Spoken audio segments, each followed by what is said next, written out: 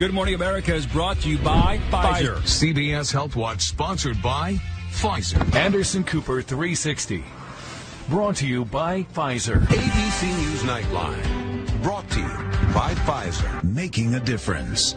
Brought to you by Pfizer. CNN Tonight. Brought to you by Pfizer. Early Start. Brought to you by Pfizer. Friday night on Erin Burnett Out Front.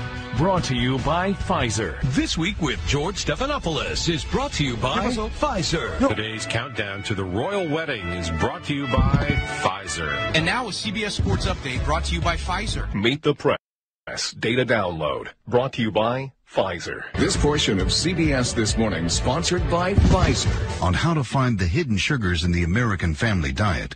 Sponsored by Pfizer. Bill Gates' advice on how to combat mistrust in science at 60minutesovertime.com. Sponsored by Pfizer. You really need to get vaccinated. You know, COVID vaccines are now available for children five years and older.